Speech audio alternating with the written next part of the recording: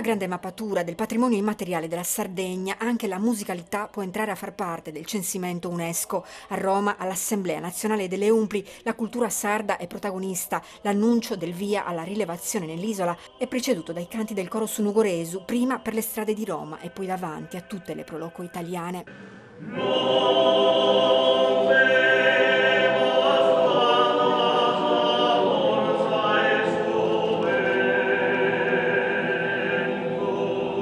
La musicalità è un altro degli elementi fondamentali del patrimonio culturale immateriale, ricordiamo che il canto a tenore lo è già, adesso noi pensiamo di tutta la musicalità sarda, che è bellissima e tantissima, di trasferire la pari pari nel patrimonio dell'UNESCO.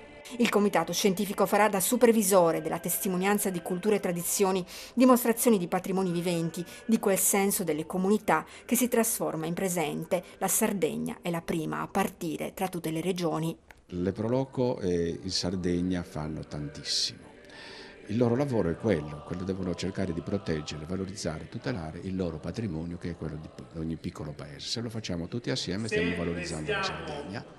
Ma intanto significa divulgare un messaggio importante che è, l'attaccamento alle, alle, radici. Le tradizioni sono la nostra identità, i cori di ispirazione popolare eh, nascono per sostenere e preservare le nostre tradizioni. Le Proloco svolgono un ruolo fondamentale, peraltro peculiare, all'identità sociale, storica e culturale del nostro Paese, valorizzando al meglio le realtà locali.